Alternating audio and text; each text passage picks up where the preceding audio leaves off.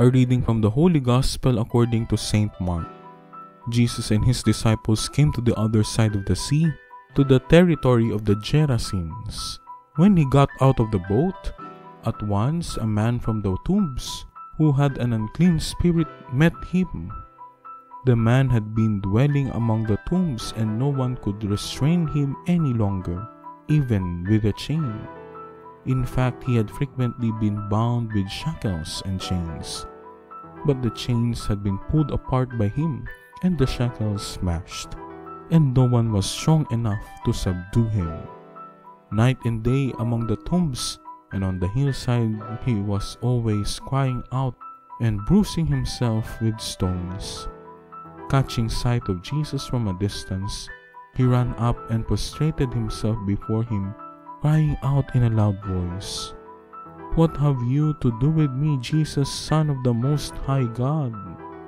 I adjure you, by God, do not torment me. He had been saying to him, Unclean spirit, come out of the man. He asked him, What is your name? He replied, Legion is my name.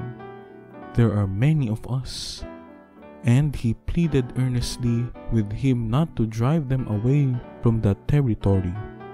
Now a large herd of swine was feeding there on the hillside, and they pleaded with him, Send us into the swine, let us enter them. And he let them, and the unclean spirits came out and entered the swine. The herd of about two thousand rushed down a steep bank into the sea where they were drowned. As he was getting into the boat, the man who had been possessed pleaded to remain with him.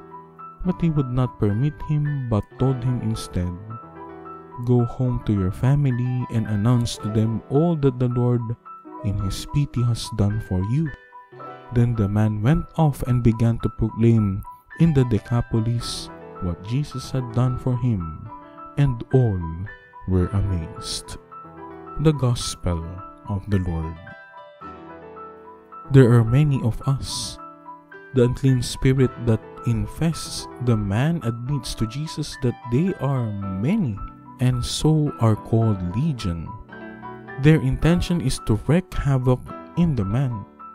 The man is being drowned in a cacophony of voices and doldrums of pain, and seemingly his own respite comes in hurting himself when Jesus drives out Legion, the man is restored to rationality and experiences peace again.